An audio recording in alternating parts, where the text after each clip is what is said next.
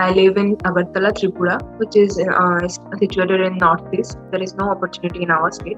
So uh, my batchmates who studied from out of our state, uh, there uh, there was most uh, opportunities in the IT. They were all placed, and I was not placed anywhere, and I didn't have job or something. So I was like very depressed, and my confidence level was going below. So uh, then I got to know about uh, Talent Sprint FSD course but i was in fact i was scared that i'm like uh, uh, spending more money of my parents. So i was bit uh, in a pressure like will i be make, able to make them proud or not?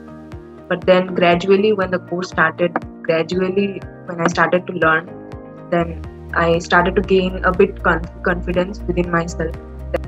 So i cracked the interview for at&t company and uh, I have been given the role of senior associate software engineer.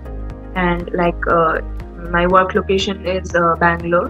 Uh, I always wanted to make my parents proud, and by cracking this interview, like I succeeded doing this. So it makes me feel really good. Like I can't express with my words.